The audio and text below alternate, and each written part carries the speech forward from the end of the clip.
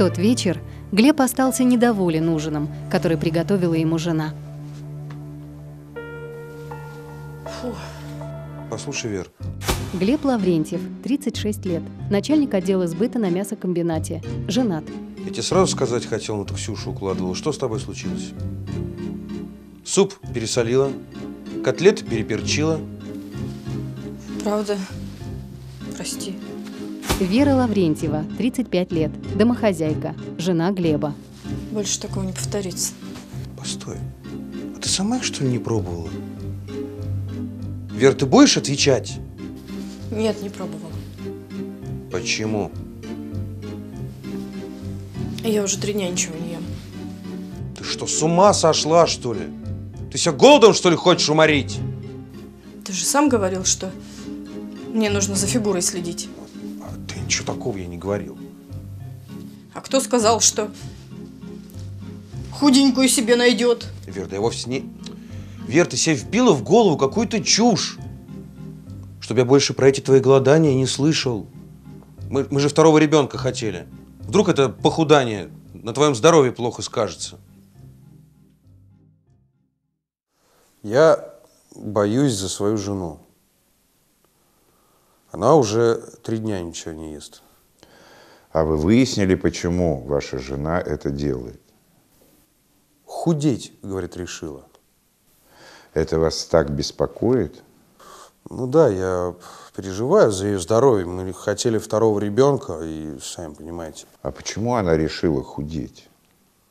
Вера говорит, что это из-за меня. Дело в том, что на днях у нас произошел такой разговор. Вер, в субботу мы к моему начальнику в гости идем. Да? А он нас к себе домой пригласил? А по какому поводу? Сергей Иванович меня собирается своим заместителем назначить. Я тебя поздравляю. Так что оденься поприличнее. Нет, а вот с этим, боюсь, будут проблемы. Почему? Ты же полгода назад весь гардероб сменила. Да, но мне опять все мало. Опять? Ну ты даешь, Вер. Ну, ты думаешь, я не переживаю? Ну, как после родов набрала вес, так теперь только полнее и полнее. Смотри, а то на худеньких заглядываться начну. Ну, зачем ты так говоришь? Ты думаешь, я сама не переживаю? Ну ладно, пошутил. Лучше толстая жена, чем никакая. Я ничего плохого сказать не хотел. Я просто пошутил. А она, оказывается, все всерьез восприняла. Ну, как говорят, в каждой шутке есть доля шутки. Ваша жена восприняла вашу шутку как руководство к действию. Я действительно так думаю, что ну, толстая жена лучше, чем никакая. Просто я боюсь повторения истории с первой супругой. А что же с ней случилось? Ну, она тоже однажды села на диету. Похудела, похорошела, и ей стал не нужен. Нашла себе нового ухажера и ушла от меня.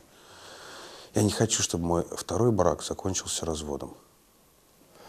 Если рассуждать по-вашему, получается, что семья скрепляется только неизбежностью, когда супругам больше некуда деваться, и они никому другому не нужны. Тогда они живут вместе.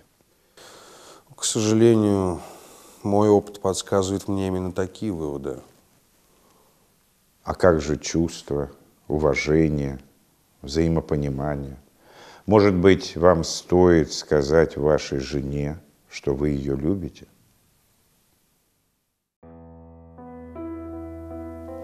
Глеб понял слова Бориса Ефимовича по-своему.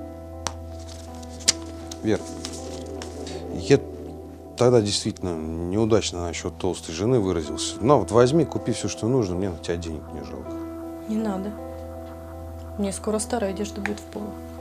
Ты что, это все на свое голодание рассчитываешь? Ты мне это дело давай бросай. Мне понравилось. Я намного лучше себя чувствую. А ты с врачами посоветовалась, понравилось ей. То есть я тебе нужна только для того, чтобы детей рожать? Что с тобой такое? Опять ты к каждому моему слову цепляешься. Ты в последнее время на меня даже не смотришь. Только подай, принеси, выйди вон. Слушай, Вера, я тебя вообще не узнаю. Вот пока ела, нормальная была, добрая, все тебя устраивало. Как только голодать начала, сразу стала какая-то злая.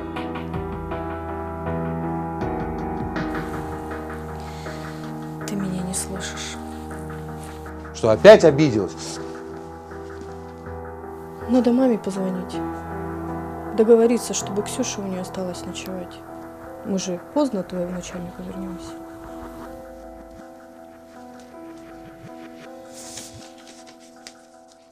В субботу Глеб с Верой пришли в гости к Сергею Ивановичу. А это горячие бутерброды. Сергей Иванович Кашкин, 50 лет, директор мясокомбината, женат. Наташенька их сама приготовила. Сережа, ты забыл принести буженину. Наталья Кашкина, 42 года, управляющая магазином белья, жена Сергея Ивановича. Она там на кухне, на столе Да-да. стоит. Ну что же вы ничего не едите? Попробуйте вот это. Ой, нет, что вы. Тогда, может быть, рыбки. Нет, спасибо. Наташа, вы на Веру внимания не обращайте, она на диете. Да уж. Сейчас столько всяких теорий развелось. Особенно для легковерных дамочек. И не говорите. Верочка, ну и как? Удалось хоть немного похудеть? Да. На три килограмма похудела. Теперь просто летаю. Вы уж на них внимания не обращайте. Мы с вами потом по поводу вашей диеты поболтаем, хорошо? Сергей, наливай.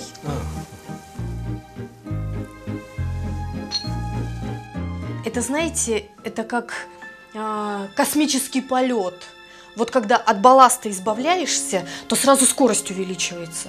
Ну вот примерно то же самое происходит и с нами э, вот во время голодания. Вера, вы так интересно рассказываете. Так и не терпится начать прямо сегодня. Здрасте. Здравствуйте. Ой, что-то я увлеклась. Это точно. Ты с таким жаром об этом говоришь. Ну, а ты садись ужинать. Я уже все приготовила. Да не, не, я лучше пойду телевизор посмотрю. А где Ксюша? Э, у себя в комнате играет. Я к ней в комнату пойду, книжку я почитаю. Да нет, Глеб, не уходите. Вы же с работы пришли, проголодались. Садитесь ужинать. Наталья, А я вам мешать не буду. посидите еще. Да нет, мне действительно пора. У меня на сегодняшний вечер были большие планы. Спасибо за рецепты, за инструкции. Начну прямо с сегодняшнего вечера.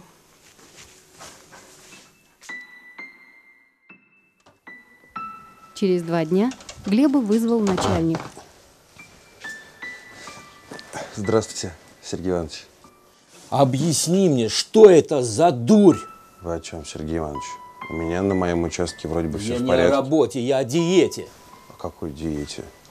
Слушай, ты мне дурачком-то не прикидывайся. С тех пор, как моя Наталья пообщалась с твоей супругой, она вообще отказывается готовить. А для меня это настоящая пытка. Да ты просто не представляешь, как мне это все понравилось. Я скоро стану стройная, как кипарис. А, Подожди секундочку. Да, повиси немножко. Ну чего тебе? Наташ, можно я приготовлю ужин? Я тебя не прошу, я все сделаю сам. Ну об этом и речи быть не может. Ты сейчас начнешь готовить, по квартире пойдут всякие запахи. У меня будет выделяться желудочный сок. Это очень вредно для здоровья. Знаешь что, иди в ресторан. Да, ну ведь вкуснее домашнее-то. Ну знаешь что, обойдешься. Обжора.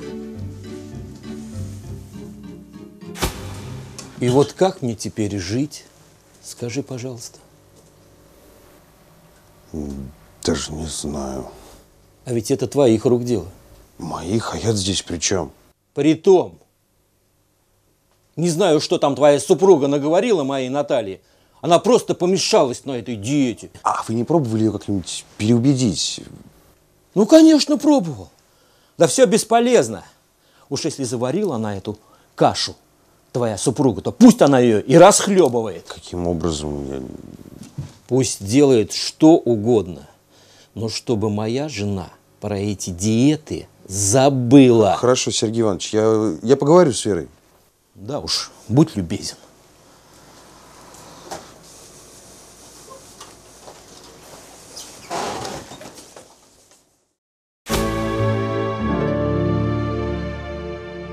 Глеб Лаврентьев узнал о том, что его жена Вера уже три дня ничего не ест, решив похудеть.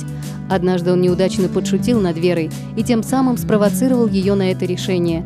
Глеб напомнил жене, что они хотели второго ребенка, а голодание может пагубно сказаться на ее здоровье. Вскоре Лаврентьевы пришли в гости к начальнику Глеба Сергею Ивановичу. Его жена Наталья заинтересовалась диетой Веры. Она решила последовать ее примеру и перестала дома готовить. Сергей Иванович потребовал, чтобы Глеб заставил Веру сказать Наталье, что диета ей не помогает. Вера, ты что Наталье голову морочишь? Ты о чем? Она развела бурную деятельность. Всем рассказывает о твоей теории похудания. Запрещает Сергею Ивановичу дома ужинать, а он мне за это выговор сделал.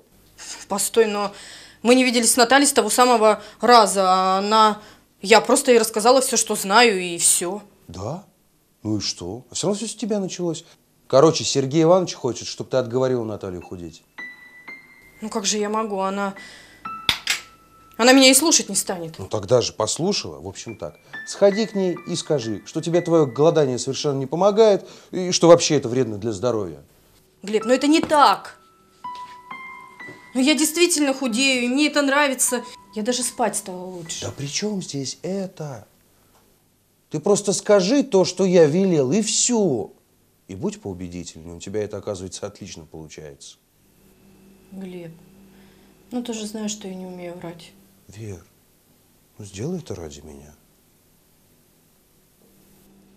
Я не стану никого обманывать. Ну тогда либо ты переубедишь Наталью, либо ты мне больше не жена.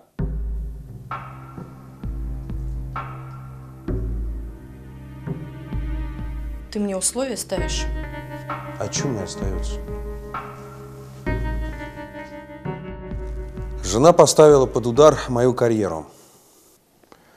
А какое отношение имеет ваша жена к вашей карьере? Она дурно влияет на супругу начальника. Это сказывается на моих отношениях с Сергеем Ивановичем.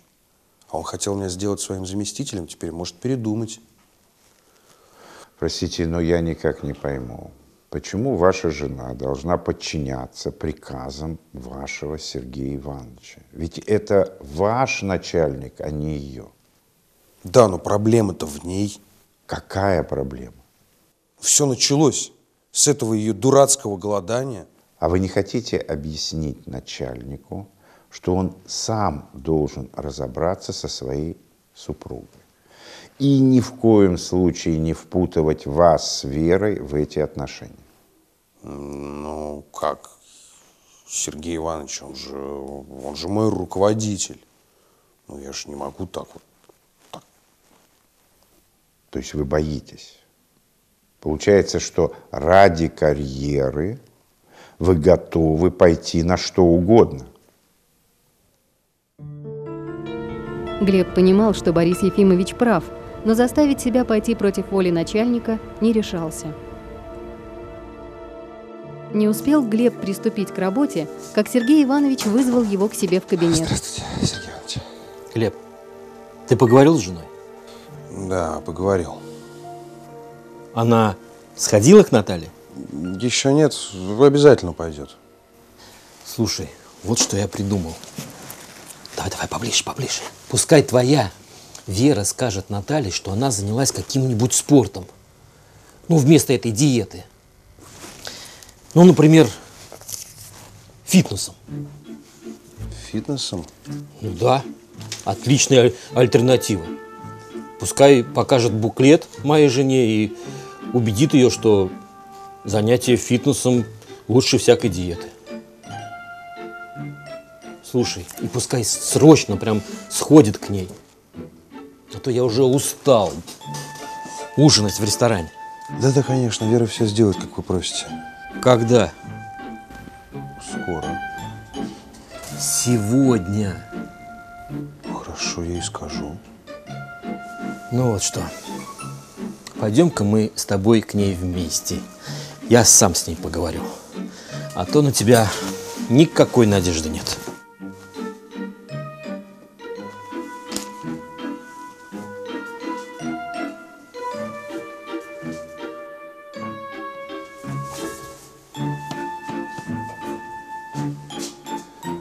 Вера, я не один. Сергей Иванович, здравствуйте. А что вы в дверях-то стоите? Проходите в Да не гостиную. стоит, я на минутку.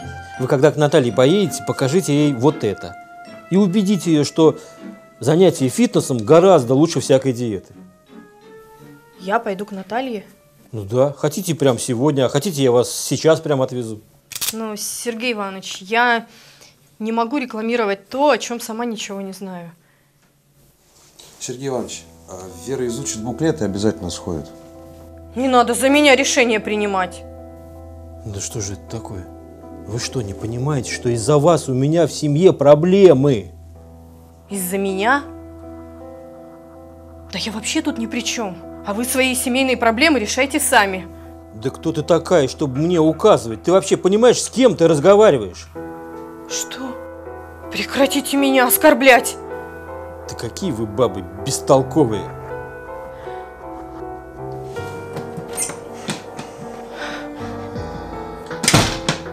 Глеб, почему ты за меня не заступилась?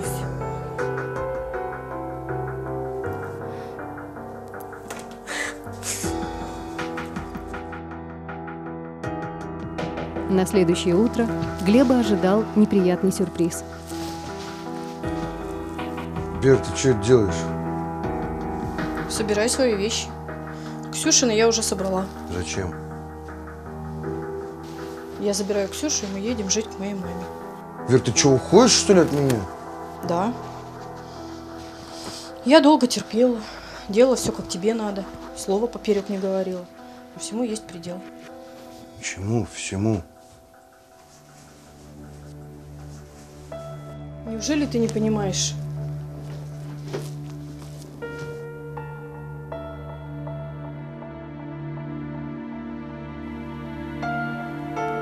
Глебу было одиноко в пустой квартире.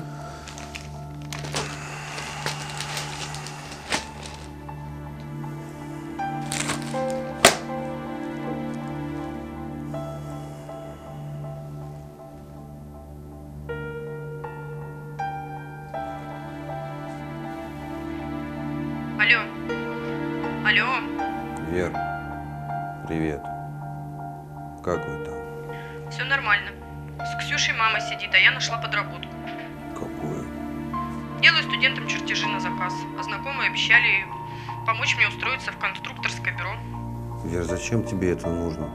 Возвращайся-ка ты лучше домой. Нет, Глеб, я к тебе не вернусь. Почему? Глеб, подумай сам. Поймешь, тогда и поговорим. Все, пока. Вера! Вера!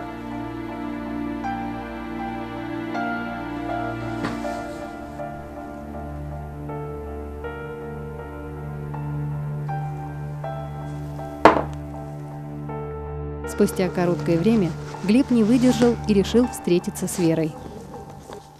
Глеб, что ты здесь делаешь? Пришел поговорить. Да, я помогу.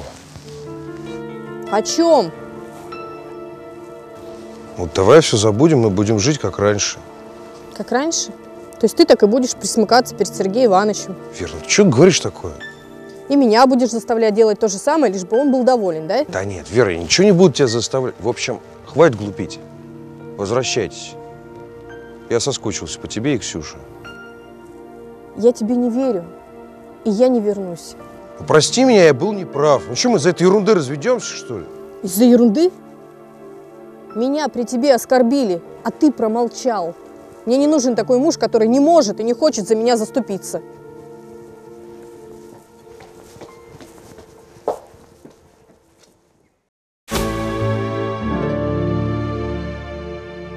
Глеб Лаврентьев узнал о том, что его жена Вера уже три дня ничего не ест, решив похудеть. Он напомнил жене, что они хотели второго ребенка, а голодание может пагубно сказаться на ее здоровье. Жена начальника Глеба, Наталья, решила последовать примеру Веры. Сергей Иванович потребовал, чтобы Глеб заставил Веру переубедить Наталью, но Вера отказалась говорить неправду. Сергей Иванович возмутился ее непокорностью и оскорбил Веру. Глеб не посмел за нее вступиться. Вера ушла от него. Глеб попытался помириться с женой, но Вера сказала, что ей не нужен муж, который не может ее защитить. Ну вот, теперь у меня и с начальником отношения испортились, и семья трещит по швам, и... И как вы думаете, в чем причина? Да в чем тут может быть причина? Наверное, я виноват.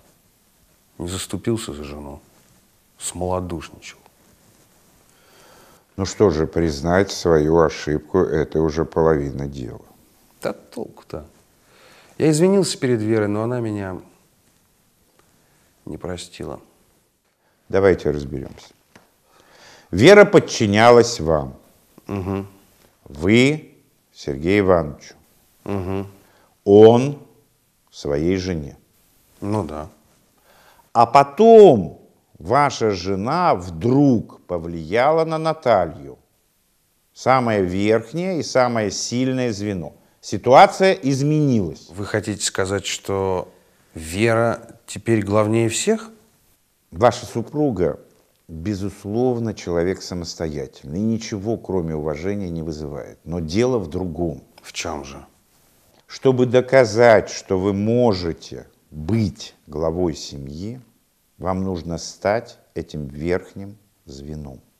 То есть сильным человеком, который способен отстаивать свою точку зрения и защищать своих близких.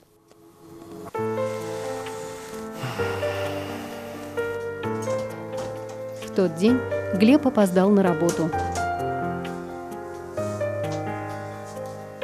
Глеб, я что-то тебя не узнаю. Ты ошибки делаешь в отчетах, пропуски, а теперь опоздание. Что происходит? Вы еще спрашиваете? Хорошо, я объясню. От меня ушла жена. Ни о чем другом я больше думать не могу. Вера ушла от тебя? А, ну, постройнела, похорошела и ушла к другому. Не смейте надо мной издеваться. Ладно, ладно, я шучу. Свою жену нужно строгости держать. Да, что вы говорите? А вы свою строгости держите? Ах, вот ты как заговорил. Ты что, забыл, кто здесь начальник, а кто подчиненный? И вообще, какое ты имеешь право в мою семейную жизнь влезать? А вы имеете право. Это ведь из-за вас Вера ушла. Из-за меня? Вы ее обидели. Ну, сказал пару ласковых... Так вот. Тогда я промолчал, а теперь я молчать не буду. Я требую, чтобы вы перед Верой извинились.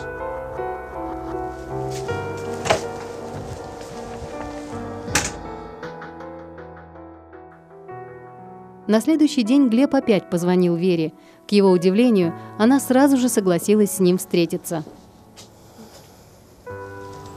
Вера, я не хотел тебе по телефону говорить, но я больше так не могу. Ты прости меня, пожалуйста, я очень перед тобой виноват. Я обещаю, теперь все совсем по-другому будет. Сегодня ты не первый просишь у меня прощения. А кто еще просил? Ну, а ты не догадываешься?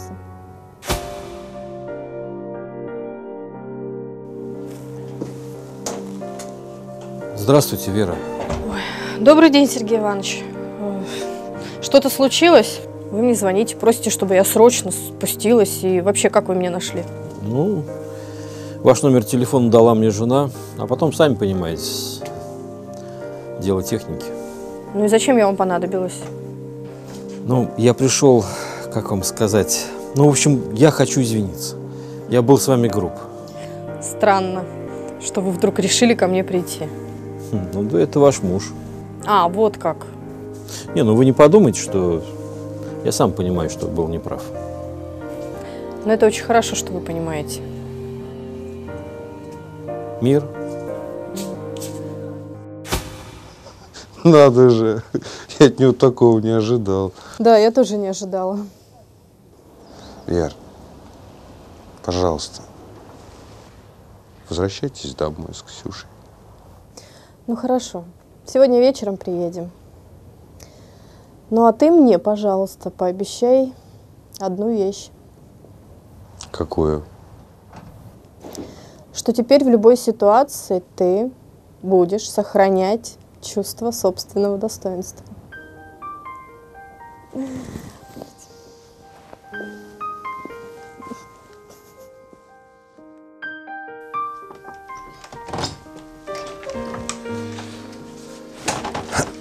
Сергей Иванович.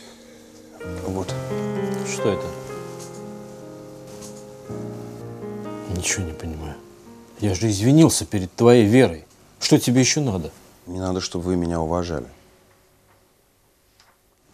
А, значит, разок пошумел и почувствовал себя крутым? Дело не в том, крутой или не крутой. Дело в том, что каждый человек достоин, чтобы его уважали. Но я не мальчик, чтобы менять свои методы руководства. Дело ваше. Подпишите, пожалуйста, заявление. Да ничего я подписывать не буду. Где я найду такого еще сотрудника? Да уж, такого покладистого и покорного, каким был я, вряд ли найдете. Только я вам теперь не подхожу. Почему же? А потому что я стал другим человеком благодаря своей любимой жене. Так значит, вы с Верой помирились? Ну и отлично. Да, у нас теперь в семье мир и согласие. Чего и вам с Натальей желаю. До свидания. Глеб, я не подпишу твоего заявления. Я все понял.